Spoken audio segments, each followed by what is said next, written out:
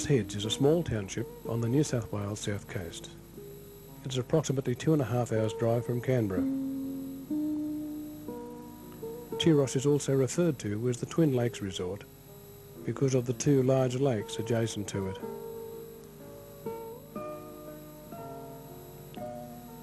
Tuross Head is so named because it is here that the Tuross River, which rises in the Australian Alps near Nimmitabel, flows out into the Tasman Sea.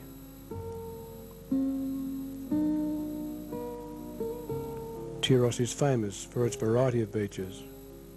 Long, open beaches, small secluded ones, but all of them with clear, inviting water and miles of golden sand.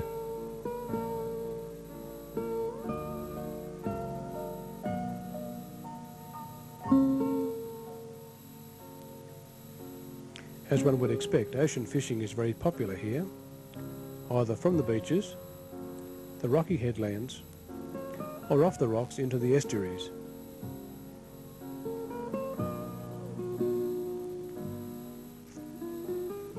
Tuross also has a distinctive and rugged coastline. One of the popular spots at Tuross is One Tree Point.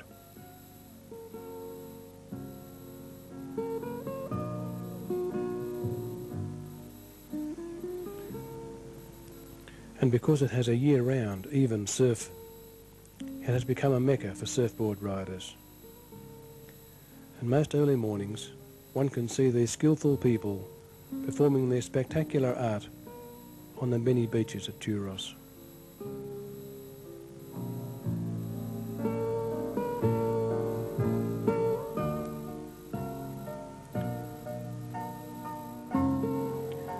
Most of the time, the surf is peaceful but there are times when it can be rough and treacherous. And the remains of this ship's boilers on the rocks at Bingie Point are testimony to the treacherous seas that can be experienced at Tuross Head.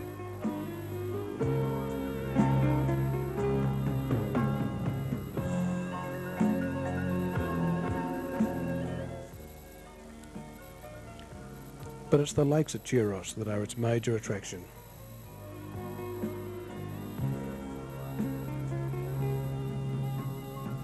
Professional fishermen can often be seen preparing their boats on the boat ramps or moving up the lake, following the tides to set their nets. Recreational boaters and fishermen are catered for too. There are two boat sheds which offer either powered or rowing boats for hire.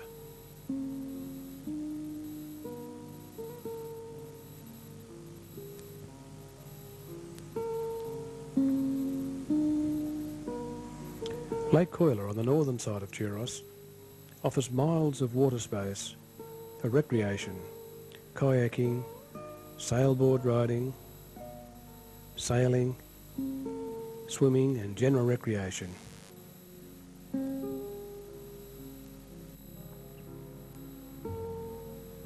Tuross also offers first-class sporting facilities for adults and young people.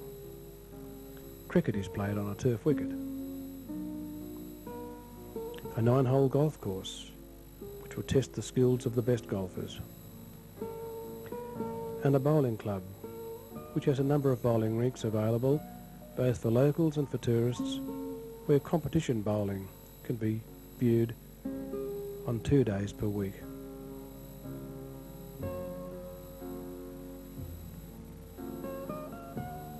The natives are friendly, but some just a little bit shy.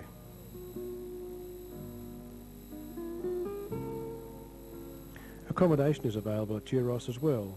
There are two caravan parks, one close to the beach and the other on the lakeshore further infield. People building permanent residences have a number of choices of location. Some may choose to build in broad acres, others might opt for suburbia, others in this perfect bush setting or a blend of all of those, but you'll notice they always take advantage of the spectacular views.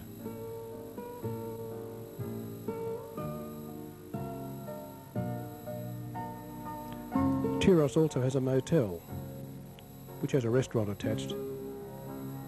And in addition, there are two other restaurants which cater for the personal choice of visitors and locals alike.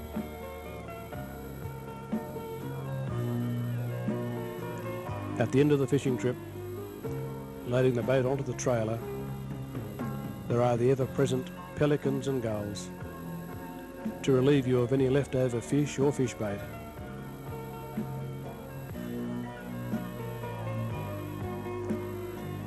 And at the end of yet another perfect day at Tuross Head, the hire boats are safely moored as the sun throws out its last light for the day.